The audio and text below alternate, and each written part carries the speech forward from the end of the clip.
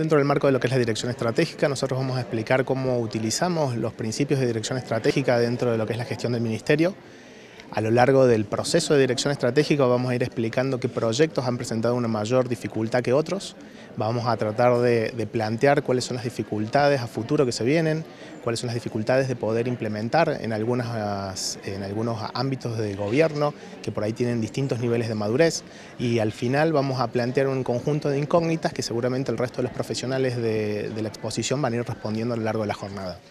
¿Cuáles son algunos de esos proyectos o líneas de trabajo que se han estado impulsando desde la provincia? En general, la, la, provincia, a partir del Ministerio de Finanzas, lo que impulsa es la simplificación administrativa de los trámites, hacerle la vida más fácil al ciudadano.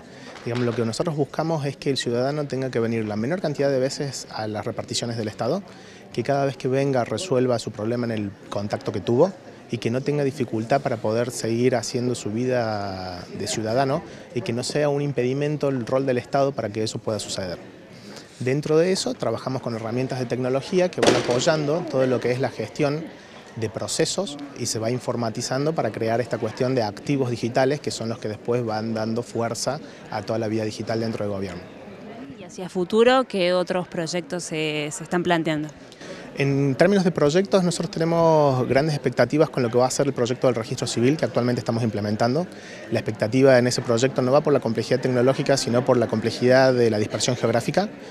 Tratamos de llegar a todos los ámbitos de, del registro civil. El proyecto que estamos trabajando también tiene que ver con lo que es la modernización de los servicios, como ya se hizo con verificación del automotor, como ya se hizo con turnero provincial, para poder darle participación al ciudadano y que le dé una previsibilidad en lo que tiene que ver con el trámite de la gestión.